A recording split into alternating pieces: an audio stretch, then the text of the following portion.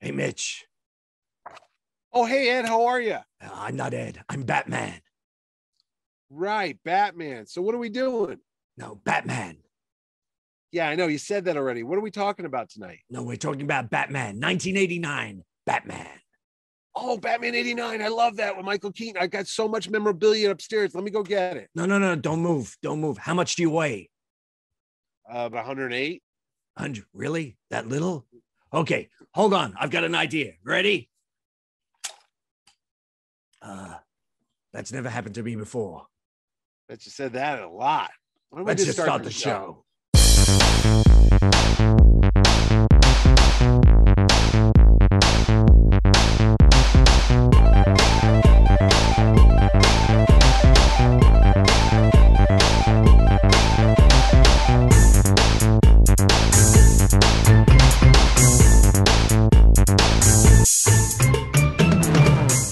Hi, this is Ed Dollister, And this is Mitch Halleck. and welcome to another episode of Mitch and Ed's Excellent Adventure. If it's your first time here, welcome. Um, if you're one of our many subscribers, thank you for coming back. Guess what, Mitch? We've got 349 subscribers. We're just that one off. Yeah, we need that one more. And you know what? You could be that lucky person if you're not subscribed by just simply hitting the button. It's like firing up the bat signal, and boom, you will be notified every time Ed and I get in the car and zoom off for another excellent adventure into movies, TV, toys, and more right here on the old YouTube. What are we talking about today, my friend? from We're talking under? about Batman today, Batman. but in particular, Batman 1989, the uh, groundbreaking 1989 superhero movie. Um, yeah. We're going to be talking a little bit about how it came to be, um, who was in it, um, its legacy, some of the merchandise. We've sort of spoke a little bit already about uh, Batman 89 indirectly, and I'll put a link up uh, up there um, where you can watch Mitch eat some 1989. Oh yeah, cereal. my stomach's yeah, I forgot about that. I was like, wait, when oh yeah, that nasty cereal back there. Yeah, yeah, yeah, yeah. That's yeah. right. We I Boy, think oh, we did boy. that for our was that for our hundredth subscriber or uh, We should have saved it for our 10 millionth subscriber. It was something else. But I'll tell you what, yes. I re- I'm just thinking back of all the stuff. I remember being in the 70s and the 80s and you know, Batman was a fixture on television around here. It was the old Adam West show. Yep. And then there was a bunch of cartoons, and we've covered that in Mhm. our Super Friends stuff when we talk about the 70s and the Batman TV show. But the only live action Batman prior to 1989 was when Adam West and Burt Ward reprised their roles in those two horrible NBC TV superhero specials in the 70s. But from then till 1989, there was no such thing as a live action Batman. Mm. Oh, And I suppose we have to thank for um, the genesis of a new Batman film, really, Superman the movie, and it, uh, you know, I think it is the the um, the gold standard of all superhero movies, and really that spurred um, an interest in creating a Batman movie. And I know Tom Mankiewicz, who worked on Superman the movie, was in early development um, of a Batman script that they were looking at. They were looking at um, getting a, an unknown, perhaps, to play Batman with uh, David Niven as Alfred. Um, I think they were looking at William Holden as Commissioner Gordon. They were looking at all these um, interesting casting choices, which never never came to be. But the script did remain in development for many years and into the uh, 1980s, is which is when uh, Tim Burton was attached to it. Yeah, what, what the funny thing is, is the property of Batman was lying around for years, and it was Michael Uslan who Mhm. picked up the rights to it for almost not a lot of money because you're right, it was the Superman success, the movie with Christopher Reeve, that suddenly started people thinking about it. So Uslan and his partner, I can't think of his name right now, but we'll pop it up right here. I think he just passed away. I'm going to say Mesner, maybe that's Yep. his last name. He, uh, they acquired the rights to Batman and Swamp Thing too, actually and they said let's try to make a live action batman film that's why when you watch any batman animated show or movie whatever tv series like gotham or now the batman movies you'll always see michael uslan's name come up as executive producer because he owns the rights to the batman series but yeah they said let's make this big screen batman movie and the superman movies were the model that they were going for because they were successful. But then what happened is mid 80s, they stumbled with Superman 3, Superman 4, The Quest for Peace. None of these were successful like the mm-hmm. first ones, one and two. And then maybe the, you know, the bloom was off the rose and people weren't really looking forward to making any big budget superhero movies because it just wasn't in the public domain. Nobody wanted to see that. Yeah, you know? it wasn't something. It's not like today like, where every second no. film is a superhero film. So no, no, and it wasn't actually until the a comic book came out in the mid '80s that totally revolutionized the whole idea of Batman and superheroes too. It was by author Frank Miller, who was the writer and artist on a book called The Dark Knight Returns, and that was about a more grizzled, older Batman who comes out of retirement. Basically, the Gotham City is just a hellhole. Crime is everywhere. The government doesn't care. Superman has become a puppet of the Reagan administration type of patriotic symbolism. And Batman just has had enough. The Joker breaks free, and there's this gang called the Mutants. that are running wild through Gotham, and there's just lawlessness everywhere. And Batman comes out of retirement. There's a new Robin who's a young girl this time as opposed to his young youthful ward. Uh, we find out that Batman had lost Robin somewhere along the line. One of the Robins, Dick Grayson, or one of the other ones there. So he's more of a Clint Eastwood character. He's mm-hmm. more serious. He's not jokey. He's not about bat copters and bat cycles and bat boats and all that stuff is out the window. And shark repellent. A, yeah, no, none of that. This is about a real you know, grim and dark, dark night, hence the name. And that's what they used when they said, we're going to make this new Batman movie when Tim Burton came, because all everyone thought about was the campy Adam West TV series. I mean, as popular as that show was, it really did a disservice to the character of Batman for at least 20 years because all people thought of was that clown, the guy in the goofy tights and the the shiny you know, pants there and the little Batusi type of thing. I mean, it was kitschy, it was campy, it was of its time in the 60s, yep. but yep. I don't think that movie would have made a dollar if they put that on the big screen. No, well, when you look at uh, you know the other equivalents, when we, have spoken about Doc Savage, which uh, was uh, you know reasonably big budget, you know, superhero, I suppose you call yeah. it movie, but that was campy, and it, it that sort of I think after you know once once Star Wars came along, and you look at those movies from uh, the 70s Godfather, Apocalypse Now, um, The Deer yeah. Hunter, you know, I think people were looking for something a little bit more, um, you know, grounded and a little bit more real. And uh, even Star Wars, you know, it wasn't all shiny, was it? It was all, no, it was, it was used, that used universe. Yeah. And then it didn't set anyone's mind at ease when they announced the casting choice was going to be Michael Keaton, who mm. at that time was only known for movies like Mr. Mom and uh, The Dream Team and Night Shift. I mean, he was a comedic actor. He was a stand-up comedian as well. He'd be on like David Letterman and he would do some shtick.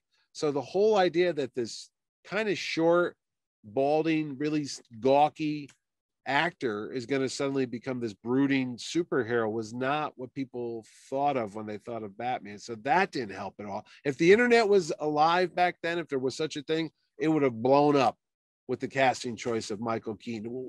As it is, just word through the general media, you'd hear it at comic book conventions. People would talk about it at comic book shops. Mm-hmm. No one was happy with that casting choice. Well, I know that um, there was a letter writing campaign that you know people sent in saying this can't be wrong, and I believe they got um, they even got Bob Kane on board to you know yeah. sort of help quell quell the uh, you know disdain of uh, Michael Keaton, but they weren't really happy either with um, Tim Burton because Tim Burton, up to that point, he was attached um, a few years earlier, but he wasn't um, given the the go ahead to do it because he hadn't had a hit really. He had done Pee Wee's Big Adventure. Obviously, there was Beetlejuice, which um, yeah, he and Keaton yeah, teamed, Keaton, yeah. teamed together. But you know that didn't uh, bode well for fans either because they think Pee Wee's uh, you know, uh, uh that's all I knew him as. I remember, yeah, yeah I, I, remember seeing Pee Wee's Big Adventure. It was a great movie, hmm. hysterical, hmm. funny, but that's all I could think of. I was like, I yeah. don't know about this, you know. So. They were concerned. There was a lot of concerns. They were concerned with um, Danny Elfman. Was he able to write the score? Even Danny was Elfman was yeah. was uh, concerned because that was his first big budget you know, movie, and uh, would he be able to do it? So there were a lot of a lot of trepidation, um, you know, when it comes to um, creating this film, and also because it's such a beloved character, and you know, has been around even at that point for you know how many? 50 well it was going on for his 50th anniversary Yeah. yeah, and they wanted to be something spectacular when it came out because batman started out in 1939 they were headed up for 1989 50th anniversary there was going to be postage stamps everybody was getting ready for this big batman event and that was the culmination when the movie premiered. The other thing that set everybody probably calmed their nerves i'd say was the casting of jack nicholson who at the time was probably the biggest star the- on the planet i mean you Mhm. know you had him from Cuckoo's Nest, and then terms of endearment. I mean, he was just everywhere. And when they said that he was going to play the Joker, that kind of calmed people's nerves. They were like, well, okay, maybe it won't be so bad because he's not known to be like Cesar Romero yeah wackiness. I mean, it's Jack Nicholson. He is looks like the devil himself. So maybe that'll calm people down. But there was also some other casting folks. You had Billy Dee Williams, who you and I both know as Lando Calrissian, Yes. and he was going to be Harvey Dent. And Yep. fans of the comic book knew that he was eventually going to become Two Face. Un- unfortunately he didn't uh, they got No, Tommy Lee jones not. for the sequel but uh, i do remember in an interview they had a press uh, uh, interview with uh, billy dee williams at the time of the movie and he was going look these are the most amazing it's he's had an amazing time and these are the most amazing sets i've ever been Yeah, on and yeah. i've been on a star wars you know I, I was in star wars and i felt a little betrayed Yeah. i feel Yeah. a bit i, I actually feel a, a bit betrayed by batman but i'll talk a bit later Okay. Later no, well, the that. other thing was Sean Young was cast. Now I knew Sean Young. She was Rachel in the Blade Runner Yes. movie, and then of course she was also in No Way Out. yeah with June. Kevin Costner. She was a she was a big thing back then. There was a comedy movie she did with John Candy. I can't. It was Soap Dish, or that might be Demi Moore. I just know No, that's uh, Sally Field was uh, Soap Uh, Dish and Robert Sean. Young. Well, she was just everywhere. Yeah. I mean, Sean Young was like every year there was a new movie, and she was in it. So she was cast as Vicki Vale, the uh, female lead in the movie, and they were rehearsing for the Batman film, and there was going to be a sequence where they're on horseback Mhm. around Wayne Manor, and they're attacked by the Joker's goons, and they, they, escape. But she fell off the horse, and I do believe she might have broke her pelvic bone or fractured collar. I think a collarbone. collarbone. Yeah, she was really she was laid up for a while, but they had production starting soon, and they couldn't hold up anymore because they had to meet their their date, uh, Mhm. you know, the premiere date in June of '89.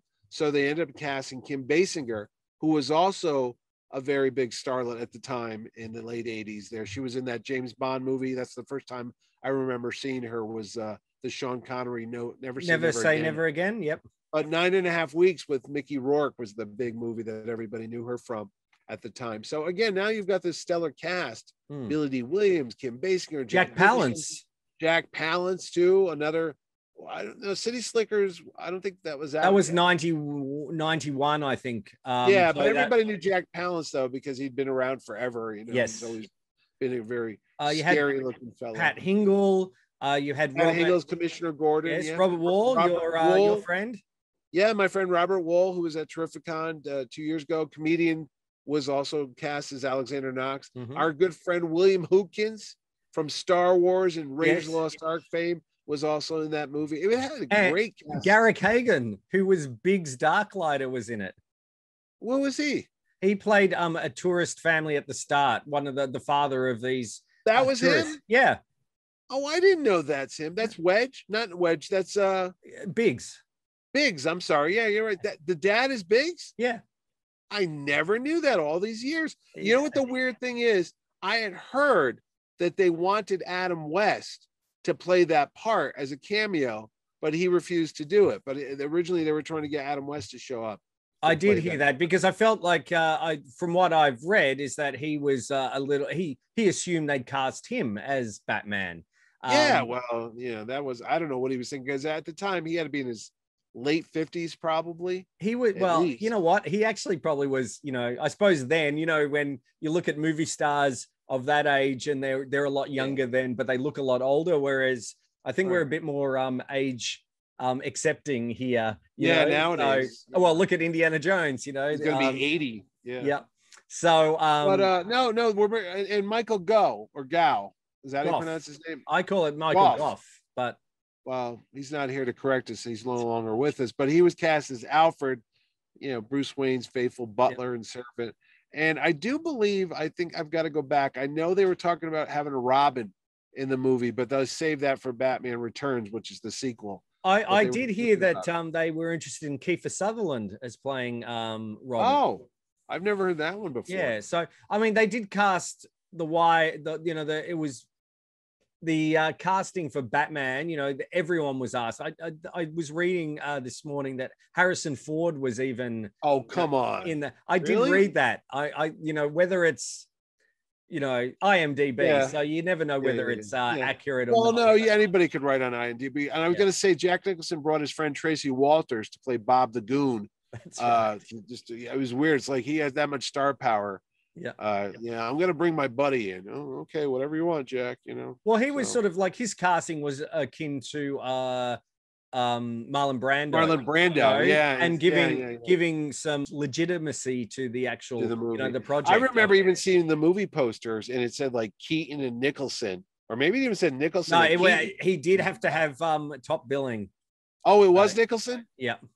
Wow, yeah, because I remember the poster. I remember the funny thing is when the poster came out, I knew it immediately is the Batman logo that Yep. was on his chest, and you can see it there. I remember people were confused; they didn't see the bat; they saw the negative image. Somebody said they thought it was like a mouth, like jaws, like a, a weird buck tooth.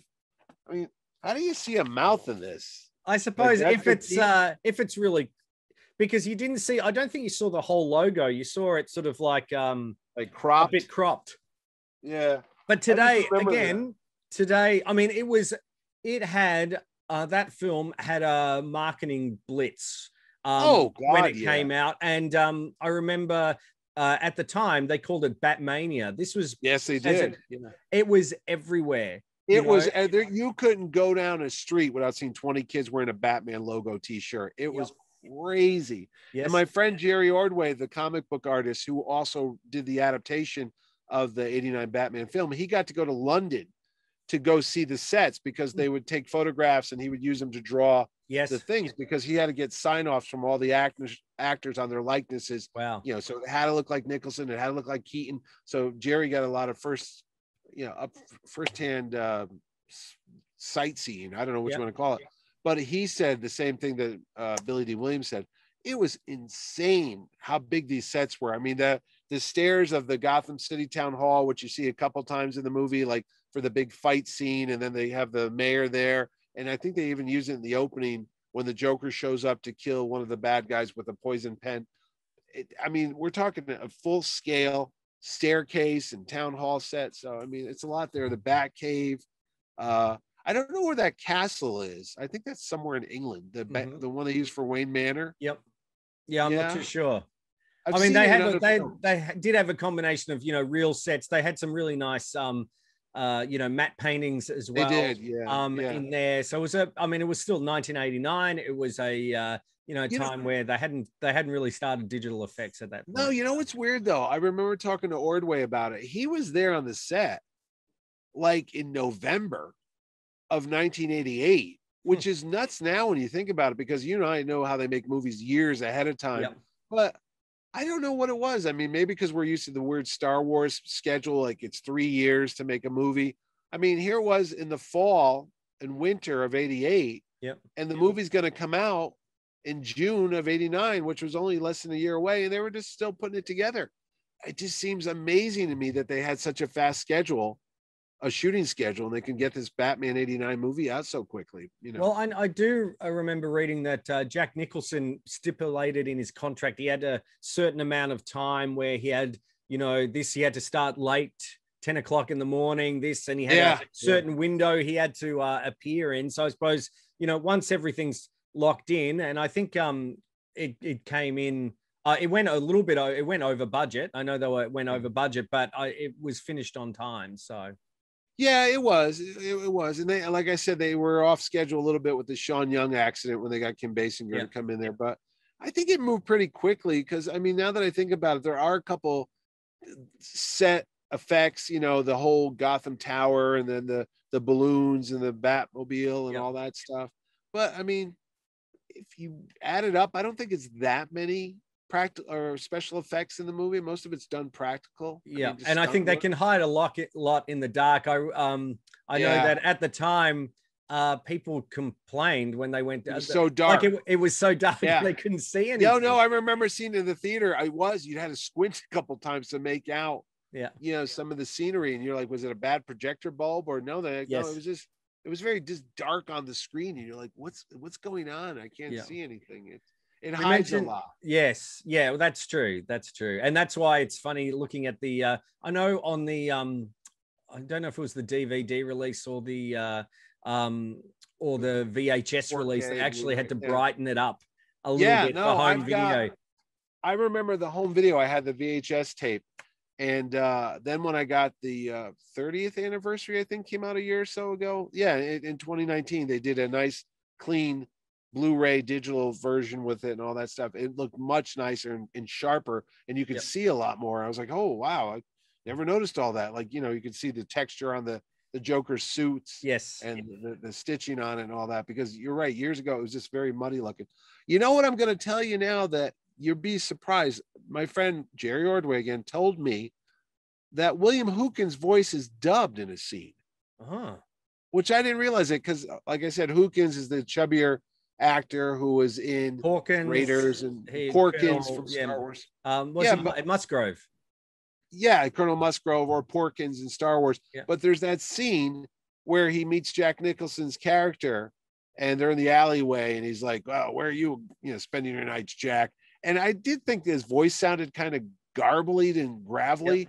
And Jerry said, Well, yeah, that's not his voice. They dubbed it. And I'm like, Hmm. Well, I've never been able to verify if that's true or not, but it definitely did not sound like the same actor's voice who was in you know, Hmm. Raiders and all that stuff. So I don't know why they would do that, but it is Look, what it you is. know, sometimes things aren't clear. You know, they have to do that. They couldn't get him back, maybe if they did, or I think they did Maybe. all their. I think they did all their um the post production work in the UK because I know Danny Elfman was um saying that he wasn't really happy with um the way that uh, his score was presented because it was all a bit buried under the the the sound effects and dialogue yeah, but it was a, it's an interesting film as well because it's one of the first films to have two soundtracks. You had the Oh, Danny God, yeah. score, and then they brought uh, on Prince, Prince. and uh, they were originally going to have Prince doing all of Joker's music, yeah. and yeah. then Michael Jackson was going to do all of uh, Batman's or the romantic uh, music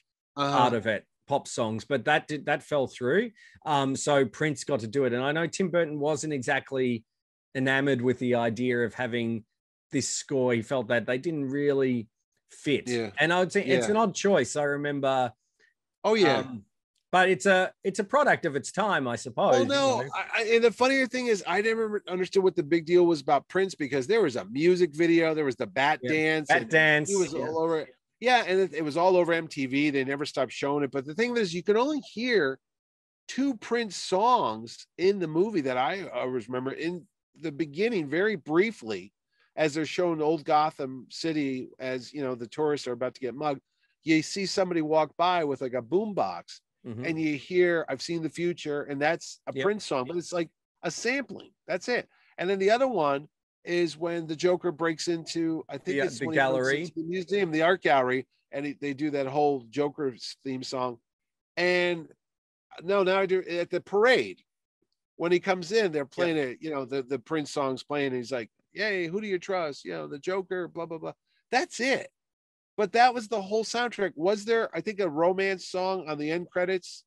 That was another Prince song that they put in there. Because where do you Yeah, have um, enough content for a full album? Well i think they had they had songs you know inspired by you know that famous Oh, that thing. Yeah, yeah, Yeah. yeah. But that But was a huge seller. That was like millions of copies. Oh, yeah. sold. and and the, the original score and i did i really loved um danny elfman's score and again i feel like that was a again a gold um standard for um dark brooding style Yeah. heroes yeah. you know john williams was for the uh you know the deep really brass, bright and yeah. you know that and uh, patriotic and this was for the dark and brooding and i know they tried it with um well they certainly when danny elfman did the year later the um dick tracy Mhm. um soundtrack the opening dick tracy's theme sounds very It's like batman-esque Batman. the I've shadow does yeah, the, uh, back there, Mondo uh, Records reissued it for the 30th anniversary, the whole Danny Elfman soundtrack, Mhm. and they did a special pressing, and it's got a purple uh, vinyl to it and all that too. But it's got the full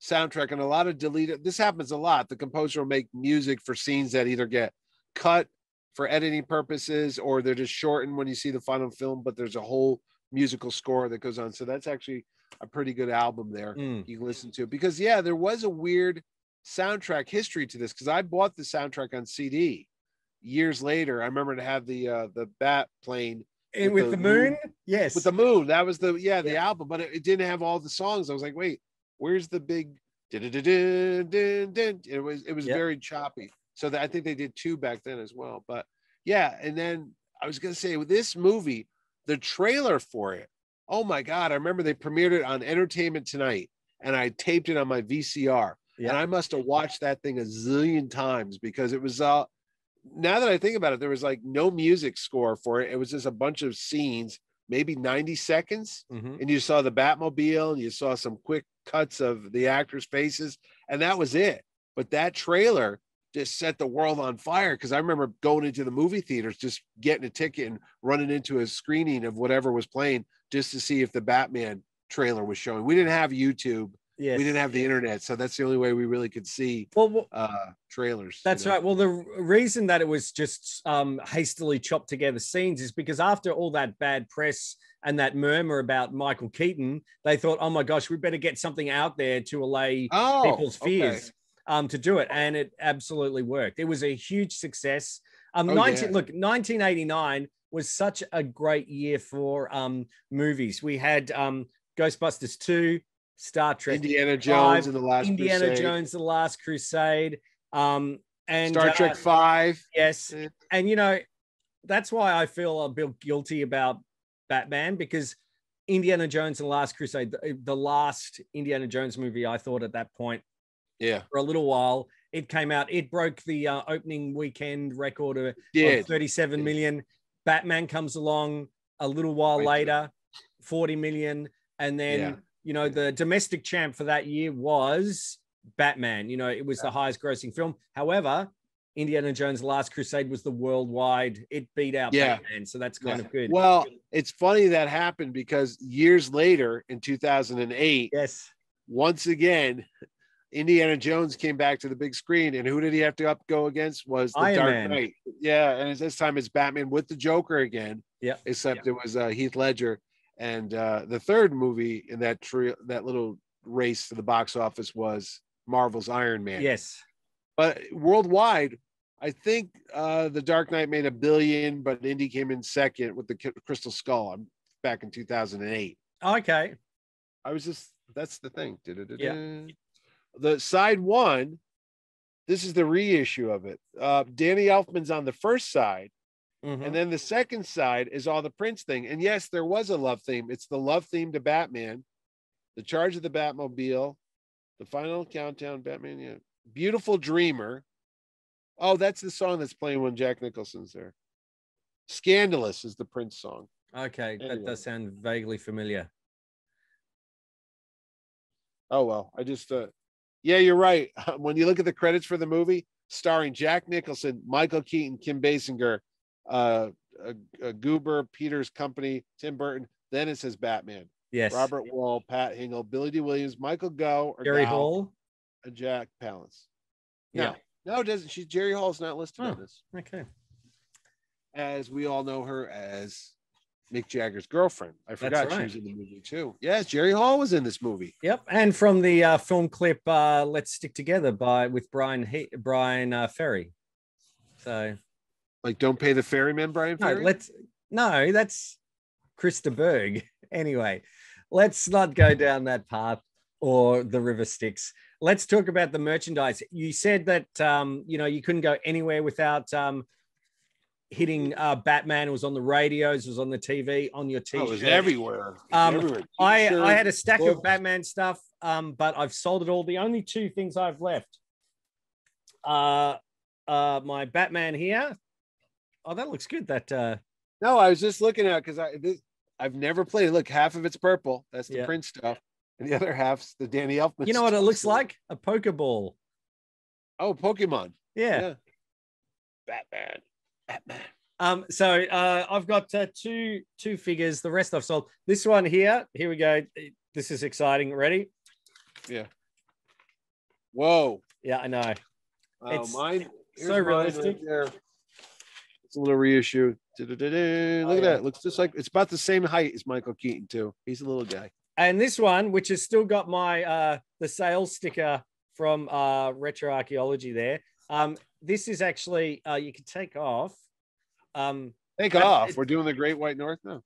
we can uh, take off his his. Uh, taking off his bat It's- pants. it's tied on, but basically that's uh, Michael Keaton under there, so you could actually uh, remove you. Oh yeah, look at that. His uh, helmet. No, it's not. It's a bit blurry, but anyway, that's all it I've was got. crazy. It was crazy. The merchandise was nuts. The t-shirts were everywhere. Uh, I actually got to see the movie. We didn't talk about seeing the movie. No, Here's what I did. There was a radio contest for WPLR, which I'm now on WPLR. Weird how life turns out. But anyway, back then they had a contest. You had to go to a local bar and dress up as a Batman character. And if you won the contest, you got to get two tickets to go see the world premiere of the Batman movie before it opened. It was like a, two days before or a week before. So I dressed up as the Joker. I had a white face. I had uh, green construction paper. I cut it up and I stapled it to my Indiana Jones fedora on the inside and made like a wig. And that was my look. And I just had a trench coat because I didn't have any purple clothing. were you arrested after on the way to that? as a flasher. So I won. I had nothing on underneath. Uh, I won the two tickets, but because I'm, you know, kind of a scoundrel, I worked at a copy center and color copies were new. So I, I can confess this now. I made color color copies of the passes, double sided on a good heavy stock, and I scuffed them up. They looked legit, and I even did the serial numbers on the bottom. Okay, there was probably only about 300 seats in that theater, and I made a little bit too many tickets that were not real. So when I went there that night, I had my real tickets. I feel terrible about this. So we went early because I said, let's go early because I knew what was going to happen. Uh, there was more tickets than there were seats. So sorry. Who did you give these tickets to? I gave them out to people. And they gave them to friends, and there might have been some money exchange here and there. You know, it is what it is. I'm sure anyone- those people. I'm sure they got to see Batman eventually. Did Just anyone uh, follow up why you couldn't get in, or why they I, couldn't I, get in? I, I heard I heard the ushers trying to figure out what was going on because people had bootleg counterfeit tickets to the Batman premiere, and I was like, "Oh, that's terrible." I shouldn't be telling people this, but it, it happened. I'm very sorry. There's a place in Batman hell for me, but I got to see the movie with my friends a week before anybody else. I'm, I'm, I'm feeling bad. I really do. no wonder you could afford all that Batman merchandise from all those bootleg tickets. Uh, I saw the movie, and then and then of course you know it is what it is. And I do remember on my birthday that year. I'm going to change the subject. Okay. We got to go. Be, I always pick a movie, and of course Indiana Jones and the Last Crusade was playing. But just like you, I was a little disheartened knowing that it was the last Indiana Jones movie. Yep. So it was bittersweet. And I remember seeing, uh, going to the movies. I had my wife uh, Sharon and her friend Maggie were, was there, and I said, "Hey, what do you want to go see? Indiana Jones or Batman?" And believe it or not, Maggie picked. She was like, "You know, can we go see Batman because Indiana Jones is kind of depressing because it's all over." And I'm like, "I know." So we ended up seeing Batman on my uh, my birthday instead of Indy. What do you want, man? It was. It's not my fault. that, I- uh, I'm Indiana finding Jones out was- that you're, uh, you know, you were the uh, Lando Calrissian scoundrel uh, in your youth. Look at, look at this cool bat thing that I have. yeah. Look at it. Well, that's Uh, like, yes, uh, I'm going like- to change the subject. So, Here, now it works. yeah, well, now now it works. But Yeah. no, uh, what I was going to say about the movie is yes, the movie adaptation that I alluded to before. We'll show a picture of it. There was two versions. There was a newsstand version, and then there was a comic book version. Both covers done by my buddy Jerry Ordway. It was one of the biggest selling movie adaptations of its time. Anything with the Batman name on it, basically in the 1989 year, 1990, sold like hotcakes. uh, Kenner was it Kenner Toys that was still available. Yep. They had the Batmobile, they had the toys, they had the action figures. Here's a little secret: they didn't have the rights to use Jack Nicholson's likeness on the Batman Joker figure for the movie. So if you bought the toy, there's a reason why it didn't look like the one in the movie because Ah. Jack was holding out. But the packaging, I believe, had his face on the packaging. So there's a little behind the secrets. But there was controversy because Bob the Goon, for some reason, the people were up in arms about it. It was like Sam the Tramp, which would come out next year uh, with Dick Tracy. They were like, you can't do that. That's not a good figure. And I don't know what it was about Bob the Goon. I, I think they said he was like a what a homicidal maniac. There was something about it. That figure was just pulled out of circulation, or was it didn't get a lot made of it. It was just very hard to come by a Bob the Goon action figure for the Batman movie, and that's the Tracy Walter character. I feel like that's uh, you know, that's uh, Urban mar- myth? marketing marketing spin by going, oh, we've got a peg warmer here. What do we uh, do? Oh, let's No, no, uh, I'm pretty sure. I, I'm pretty sure there's not a lot of Bob the Goon figures out there. okay. Well, And then Sam, when we do the Dick Tracy, we'll do the Yeah. whole story about Sam the Tramp and see if that's real. That oh, they good, got rid of because. I did figure. find just the other day I've got a Dick Tracy cushion. So Oh, really? yeah, I do. That's, Uh, well, you know what? We talk about Dick Tracy. You know what? Batman, good or bad, what the thing is, it set up such a high expectations for comic book movies that Yes. everybody want to do a comic book movie. If it wasn't for the 1989 Batman movie, believe it or not, we would not have the TV version of The Flash with my friend John Wesley Shipp that because when that came out, they said, "What can we do to mimic this?" And they made the 1991 uh, Flash TV show, and they made the music was by Danny Elfman. Yep, the and I think did, I think Shirley Walker was also involved um, with that, who also did the Batman the animated series, which you know was again Oh, it's a riff Yeah, on yeah, yeah. um on the, the movie.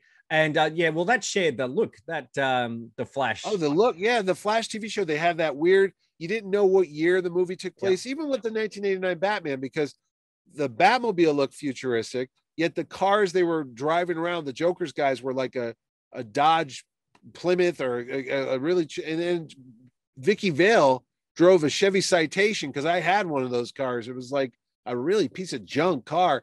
You didn't know what was going on. Like, Yeah. what year is this supposed to be? Is it supposed to be the the 50s or is it supposed to be ma- modern day or Yeah. whatever? There was really no idea what was going well, it on did. there. It did win an Oscar. I think it won the Oscar for um production design. Um, Yeah. It uh, and rightly so. It was pre- it was pretty spectacular. And really, that's the first time you saw, you know, like um again, not in spandex or oh, know, that leather. satin. You know, it was all Latex, yeah. latex and Yeah. vinyl. You know, you Batman couldn't he couldn't he couldn't move his neck. he couldn't move his um, neck. No, no, not at all. But that no, that's got that good hero reveal. You know, you actually get to see him uh, move and do that. yeah, with the whole close up thing. Sadly, the beautifully designed futuristic sets of Gotham City by Anton Furst, he Mhm. tragically commits suicide not soon after the movie opens up. Uh, so yeah, the, the the set designer Anton Furst killed himself. Yeah. I didn't jumped know off. that. Yeah, no, he jumped off a building. It was really sad. I don't know what was his backstory, but everybody just raved about the look of it. In fact, they even adapted the look of Gotham City into the comic books Mhm. to uh to to mimic the look of Gotham City with the the large towers, the gothic Yes. uh architecture and all that. You know, that was really something to see because the look of that movie was also very unique for its time Mm. as well. I mean, I think it did for uh, superheroes what Blade Runner did for uh, you know Yeah, future, futuristic futuristic, films, um, yeah. movies as well. So there's lots to like in uh, Batman '89. Obviously, it um, it uh, had the sequel in '91. I think Batman Returns, which was quite different and dark. No, it was about- it- no, it Was was it- 1992. was it '92? Okay. It was June 18th, 1992, because I got engaged on that weekend. So there you go. And I remember you, coming you back. remember that date because of the engagement, right? Not Because- because, of the movie. No, because after we got engaged, I came back and I went to go see Batman that Sunday because it opened. I got engaged on a Friday and You know, Batman opened the, that the important thing is um how many uh tickets for that did you bootleg well, Ed, come on. Ed, Yeah. you know what's so what's sad? those I fbi remember- lights going I remember I remember uh, significant dates in my life. My son was born when the last action hero opened up with uh with uh Arnold no, I'm- no, I'm off schedule. I'm off Oh. schedule now. I'm sorry. He was born when Godzilla with Matthew Broderick opened up. Yeah. So there, the last action hero, I believe, was on my wedding anniversary, my first wedding in '93. And the first date with my future wife, May the 19th, 1999. Would be the Phantom Menace. That's right. See, that's Yeah. how we live our lives, man. by, by the movies. What are we gonna do? What are we gonna do? But That's no, it. I mean Batman's Batman, and it's inspired even to this day. Thirty years later, I've got a lovely Lego Batmobile that took me forever to put together. I've Mm-hmm. got a Lego Bat Wing that I got for Christmas that I put together. I don't think there's any of the Bat stuff left from that movie that they haven't made. Not yet. know? I'm sure they'll make a probably a Bat Cave or something like that. We've got obviously more Michael Keaton Batman to look forward to because he's going to be appearing alongside Ben Affleck um, and Yes. Ezra Miller in And Ezra Flash. Miller in the new Flash movie, Flashpoint. Yeah, yeah, yeah, yeah. But we talked about you. You briefly mentioned yes, the Batman series movie was so impressive. They did make the sequel, which wasn't as successful, but it did inspire the Bruce Timm animated show that went on for years, the Batman animated series, which had the look of the film Yes. and also had Danny Elfman doing the music score. So it was all kind of connected there. So That's there right. Was it Shir- I think Shirley Walker? I think was also involved with that as well. Who were who worked closely with uh, Danny Elfman. So uh, that's great. You know, you can get those. They're available on. uh Oh, they the movie? On, yeah, the, I'm thinking the animated series. They're available. Oh, the on- animated series, yeah, you could they get a beautiful box set that just Yep. came out a couple years ago. But the thing of it is too, if you have HBO Max, all the Batman movies are on there, all the Batman animated series are on there, everything you could imagine Yeah. is out there. And then, you know what? There was a video game. I'm pretty sure they It had a on Batman. the NES.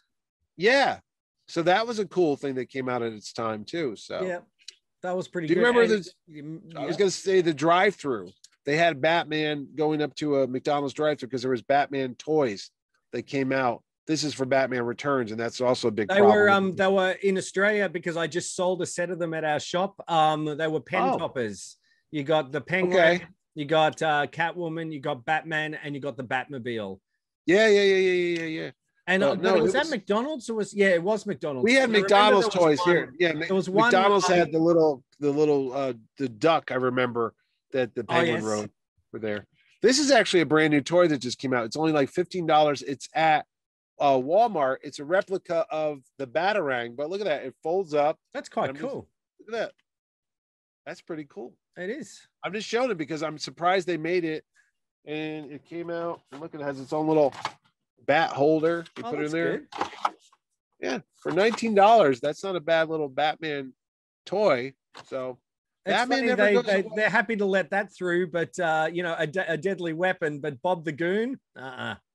no, no, we can't have Bob the Goon. And don't forget, there was even Batman cereal that came with a Batman bang. Look at that, Michael Keaton. Dun, dun, dun. And if you want to watch how this tastes, like Ed mentioned earlier, go back and watch yeah, Mitch and Ed's show when I ate that horrible Batman cereal. But that's all that's about it. I mean, trading cards, you name it, anything you could imagine.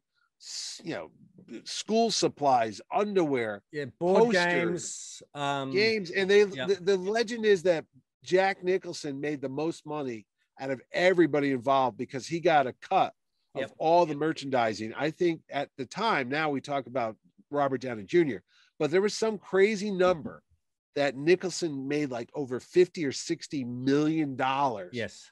from the Batman uh, merchandise from the movie. So I mean, he I don't think he really had to work much after that because he was set for life. You know. Well, that's we after that he did um, a few good men in '92, and he kept going on and on, and you know doing a film every few years. But I think he could live off uh, Batman. I suppose a lot of the actors could if they chose to. Um, and it's still reaping benefits for Michael Keaton, who, as we said, is coming back. You know, so many years after, I think it's going to be fantastic uh, to see his take on uh, on Batman. It's really interesting. We were just saying with the uh, they just released uh, the director released a shot of uh, Batman's uh, chest plate with Chest um, plate, yeah. It was either blood or you said or uh, jelly, or Yeah, that's raspberry right. jam on it. Maybe it was a jelly donut. Yeah. Hey, you didn't say what you how you found the film. Did you go see in the theaters? I you like did, it? and I actually, again, I felt a bit guilty because I, I was thinking, well, Indiana Jones. Why isn't Yeah. Indiana? And Indiana Jones was did phenomenally, you know. oh That yeah, it was fantastic. and I really enjoyed Ghostbusters too. And then we were spoiled for choice um, at the movies, even Star Trek Five, which I kind of enjoyed as well. You know, um, so Yeah, I enjoyed it, but I I probably felt it was a little bit too dark. And and I being a super a child of Superman the movie, um, I was expecting something a little bit um Superior, happier. yeah, a little Yeah. bit happier. I, I look, I I enjoyed it and I did, you know, collect the toys and things like that. I felt like probably I had to, you know, Yeah. um, because everyone else was. But um, I did enjoy it, and I think the main thing was the score and the production design. I Yeah. really um enjoyed. So I didn't see, you know, I saw it a few times at the at the movies um that year, and you know, I went to see every other Batman after Yeah, that. You know, um, wasn't that big a fan of Batman Returns. Um, See, I, li- I like Batman Returns. Not, a lot of people don't. I like the look of Batman Returns. I mean, it's that Tim Burton bluish white. Christmas, look you know, and we do Christmas- speak yeah. about that in our Christmas uh, special, actually. Yeah, yeah, I did Yeah, bring we- that up because yeah, it's a, that's a Christmas movie. It takes Yeah. place there because Burton he did that with Edward Scissorhands. He did it with. Did he do Addams Family? No, I don't That think him? so. Oh, that's uh Barry is Barry Sonnenfeld. One of those Yeah, uh, yeah, I think that was actually. Yeah, the, the guy did uh, Men in Black. Men in Black. Yeah. No, that's just he has that texture on his films. Tim Yeah. Burton does. He has it. Batman. It's like that bluish glow, that Yeah, night look yeah. with like a, a full moon lighting the, the. I just like the the way it looks and the Elfman score. You know, I, I think they work together, you know, perfectly. I'm not a big fan of the uh Dark Shadows movie they did. I, that was a little over the top. I said I didn't, I quite. I didn't mind that at all. Not, but uh, Yeah. again, I wasn't a. you're fan a big Of the, Johnny Depp. Fan. I am, but I wasn't a fan of the uh like the original source material, so I didn't really know where it was. Oh yeah, no, I remember my sisters watching. Here's one for you. Imagine if they redid that. Uh, they continued the series. Of course, Val Kilmer, who was Yes. at Terrificon two years ago. Imagine if they kept Burton in the uh, director's seat as opposed to Joe Schumacher, Yes. and Keaton stayed around because that's when they talked about they were going to bring back Robin, Yeah. and it just got to be too much. And then they were going to have, you know, another villain. They had Two Face, they had Riddler, and yada yada yada, and it just too much. Even Howard Stern talks about how they were going to get him to be the Scarecrow Mm. uh, in, at one of these films, and it was just out there, and then eventually. It just becomes a big joke upon itself with George Clooney in there, and the Batman franchise kind of went and died. It did. Uh, I think uh, you know it, that's where the term toyetic came from because of uh, Batman and Robin, where they were Yeah, there's too many of them. Oh my god! The- the and uh, you know the the Arnold Schwarzenegger. Yeah, I think that's a that it, the problem is that you know they have too many villains in it. Um, I think, and then it get that overpowers. You know, you're not seeing um, Mister Freeze and Poison Ivy. You're seeing right. Batman and Robin. So let's see Yeah. Batman and Robin. It's like in Captain America and the Winter Yeah. Soldier. I want to see a bit more Captain America than the the Winter Soldier, but that's just me. I mean, I Mhm. think the one thing that I was disappointed with with Batman was that they killed the Joker. Yeah, you know, I always kept thinking of a way they could bring him back. Like, oh, maybe that really wasn't him because Yeah. you know, but how he splattered all over the road, the, the the walkway. But uh they had that little bag that was still laughing. I go, oh, maybe somehow he transferred his eh, like the emperor transferred his essence into a, clone Yeah. or I don't know how they could have ever brought the Joker back after that fall and he got Yeah. squished there. Did you notice the animation that they use in the film twice? That Oh, always for- detracted me. yes, for the like the, the scene where he's walking with the cape. With the Um, cape, it was it was animated, so you'd Yeah. see it. It looked like like an old Disney cartoon. And at the very end, when the Joker falls Yeah, off the tower, they they- ah, and they're pulling back. If you look, it looks like an animated cartoon almost as it's pulling back and uh, Nicholson falls. I don't believe that's him. I think that was just animatronics or something. yeah. like They could have they could have done a Alan Rickman from you know the Die Hard the year Right, earlier. right, that would right, have been um a little bit better where they dropped him and but um yeah, some of the effects are not you know great they're a little clunky the film's a little clunky compared to today's films. But Oh know, yeah, absolutely. What did you think? Of, what did you think of Kim Basinger? I always thought she was like in a different movie. Like she didn't fit in well. Yeah, yeah, she was a bit. I mean, I wasn't a super big fan. I think, um, I think probably uh Sean Young would have actually been a little bit. I know. better. I She would have been a better I'm Looking match. back, yeah, I think she would have fitted. She had that darker, you know, more somber Yeah, look to her as opposed to this big bright blonde bikini model. I was like, Yeah. why is she here? yeah, She seemed like she should be in a Superman movie. You know what I mean? Yes. It's like everybody, everybody in that movie seemed a little shady. I mean, Robert Wuhl is the the the the the, uh, the reporter, a little slick. The, the the cops that were on the take, they were getting the money off to the side. Everybody in Gotham City seemed corrupt. And then suddenly you have Vicki Vale, who's like fashion model, even though she's Yes. supposed to be this photojournalist who goes to like war zones. It's like, really? Did you bring a hair dryer and a makeup kit with you? Because you don't look like somebody who's going to get Yeah. uh, rough and ready and dirty and scuffed up. But Sean Young looks like she could have pulled that off, you know. But yeah. I felt she wasn't a good foil like Margot Kidder was to um. No, Christopher not at all. You know, No. I so I wonder Uh, why they got rid of her for the sequel. I mean, they just make a passing joke about, you know, her not being in Batman Returns. I, I, I should, yeah, I, know, when, when Robert Wuhl was at my show, I should have asked him yes about what happened backstage, you know.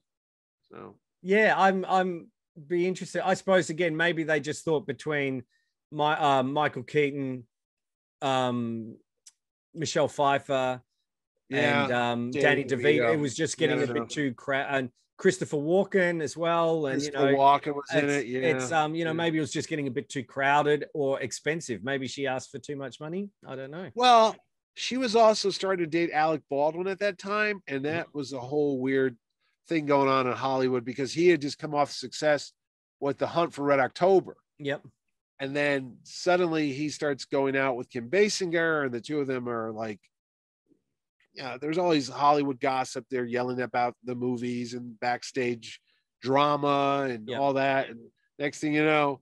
Baldwin loses uh, the Jack Ryan roles to Harrison Ford. Mhm. Kim Basinger is no longer like the, the, the actress The in all it these movies. yeah. Yeah, the, the girl, yeah.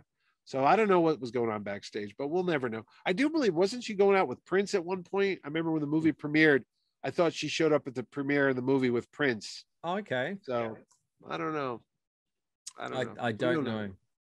No. But Anyway, you know, what, it what overall, movie? What movie was doesn't have some, you know, controversy uh, behind it? But it was. You're right. It was a phenomenon, and it's worth uh, a revisit. Um, and you know, if you're stuck at home, what better way to uh, put on some popcorn? It moves pretty quick. I mean, Yeah, it's it only a two-hour movie. It, it doesn't slow down at all. You know, it's pretty fun. It is good Oh. fun. It is good fun. So you can check it out on HBO Max, or there's uh, the 4K box set or individuals if you want to get those and see it in pristine, uh, you know, better than it's ever been seen before. Um, but we like it, so uh, we uh, reckon not that it, you care whether we like it. No, I was gonna say but, I, w- I think it, I think it was supposed to be on the big. It was on the big screen for the 30th anniversary. There was a week they did Batman, Batman Returns, Batman Forever, and Ba- I think they did Batman and Robin. It was around the country that you can go Yep. for like one night only. They had them. They had all the Batman movies shown, which is a disappointment because now looking back, I would yeah, I would have seen it on the big screen again. It's been a while, you know. Yep.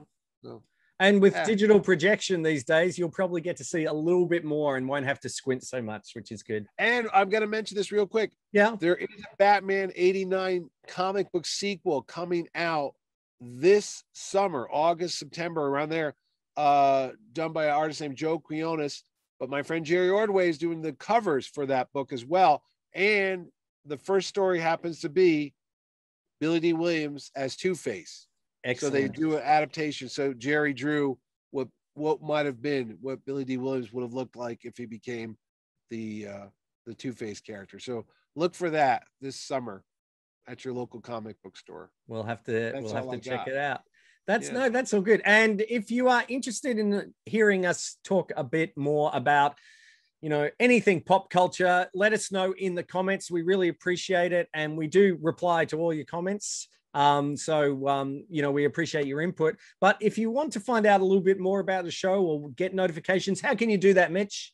Well, it's as simple as pulling a giant gun out and blowing the bat plane out of the sky, Ed, by hitting a button right below it, and you'll be alerted like the bat signal whenever Ed and I go on another YouTube excellent adventure into movies and TV shows of the past. That's right. Who knows where we'll end up next episode, but we're uh, going to head back to Gotham for a little bit more and maybe uh, watch Batman again this afternoon. But that's it for the show. Thanks so much for watching. This is Ed Dollister. And I'm Batman. no, I'm Batman and I will say we're not doing that whole thing again, are we? No, oh no, no, no, no, no, no, All right, and we'll see you. I'm Mitch Vallick. Yeah. Bye. See ya.